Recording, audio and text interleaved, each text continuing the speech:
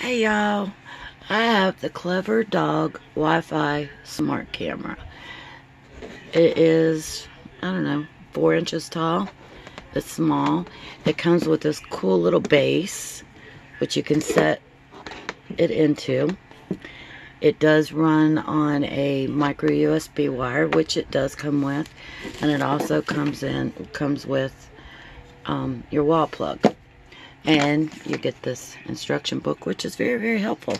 You also get hardware if you want to hang it.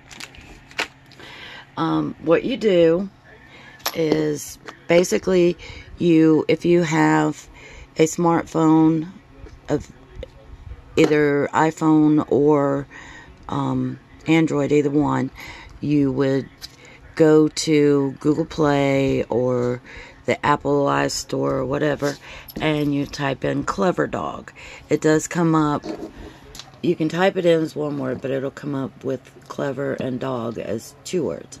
And it has a, it's a blue icon with like the outline of a dog on it.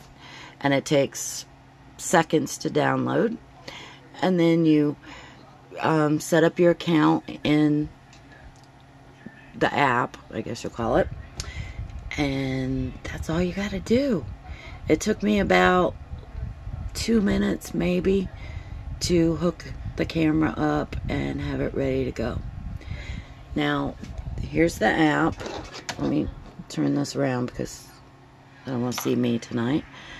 And you just hit it. And we don't want to play back, but I guess, there we go. See? You get real time on the camera.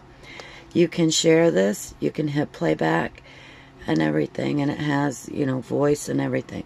Now, it also has this little slot where you can add um, your SD card so that you can record, like if you're not home or, or whatever the case may be.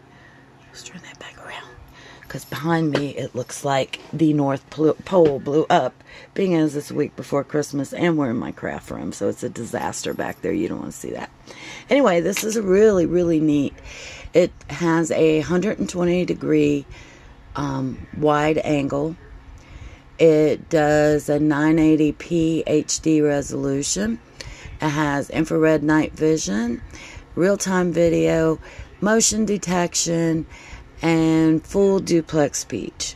So this is really a great little camera and it stays out of your way, you know, it's small. And then with the stand where you can either hang it or set it or whatever you want to do with it. But check it out on Amazon. This is a really nice camera. I'll leave you a link below.